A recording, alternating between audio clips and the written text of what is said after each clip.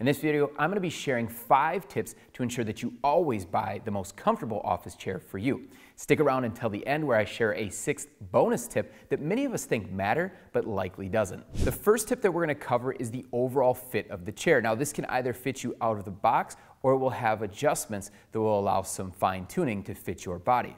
The first one that we're gonna talk about is the most common and it is chair height. As you can see here on the Amia, it has the seat height adjustment and it allows me to move the chair up and down, which then will allow me to get my feet planted flat on the floor. Arm adjustments are also something that you'll want to take close note of. And the fact is, is that many of the arms that you find on cheaper office chairs have little to no adjustments. Maybe they have height adjustment, or maybe they're just loop armed. Now in the Amia chair and in the Steelcase Leap next to me, these are both the four-way adjustable arm set, which are widely adjustable and should fit a wide range of people.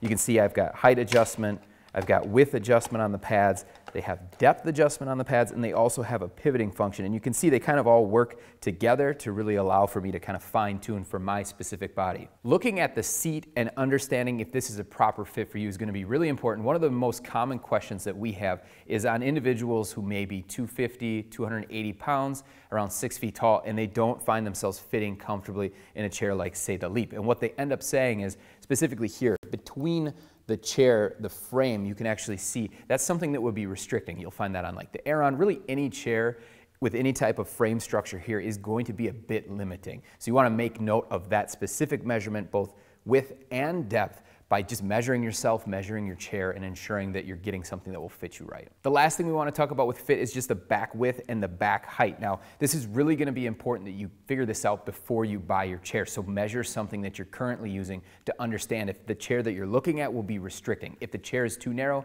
you cannot change that. However, some chairs will have back height adjustment, the Leap doesn't, and the Amia doesn't, but this is something that is a feature on some ergonomic chairs, which will give you flexibility if you're a taller individual. The second tip that we want to cover cover is on seat comfort. Now, I think seat comfort is without question the most subjective of all comfort things that we look at in office chairs.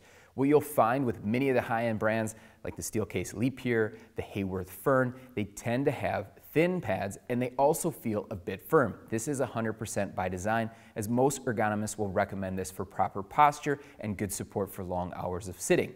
Now, if you're someone who doesn't like a thin seat pad, this could be an issue. Alternatively, we can look at chairs like the Nightingale CXO, which has a thick padded memory foam seat. But on the flip side, we found that these might not be as good as they're first perceived, as they don't necessarily offer the best support long term. Back comfort is another thing that we want to take a closer look at. Now, this doesn't necessarily mean lumbar support, which is something that we're going to touch on here in just a little bit. But when we talk about comfort, we really want to look for number one, that the backrest is going to fit you, which we did discuss early on in the fit portion. But how comfortable is it and how comfortable is it across the entire spectrum of the back? We found that some chairs might be a bit too narrow and have obtrusive pieces of plastic or frame, or even like the Sayl chair where I find with this very unique backrest, it's not quite tall enough. And for those that it is, it's very comfortable, but I've developed actually pressure points in my back, which make that a really hard chair for me to sit in. The last thing to look at with back comfort is does it have lumbar support that's maybe a bit too intrusive? There's someone in the office, Ryan, who's in many of these videos who talks about the Leap V2 right away using a height adjustable lumbar system that was just a bit too obtrusive. Once he took it out, he felt that it was much more comfortable. This next tip is hyper-focused on lumbar support, more specifically the fit and how it functions with your body. Now, there are a lot of chairs that come with just a natural curve in the backrest. This is designed to provide some level of lumbar support. But if it doesn't fit you perfectly, not in the right spot where you need it, then you want to look for something that is more adjustable. And you'll see there are some chairs that have height adjustable lumbar. Like on the Leap here, it does have a tension adjustment, which will increase or decrease the amount of lumbar support that you feel in the backrest.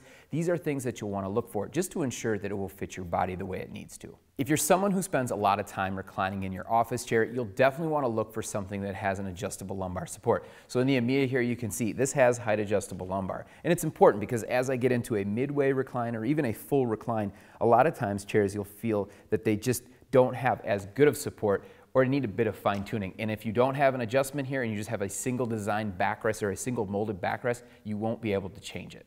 Armrest comfort is something that's super important when selecting your next office chair, but it's different than fit. We're looking specifically at just the softness of the pad. Now, maybe you like it firm, maybe you like it a little bit softer, but you can see on the Amia pad, it has nice softness in the middle and it also has nice softness on the edges.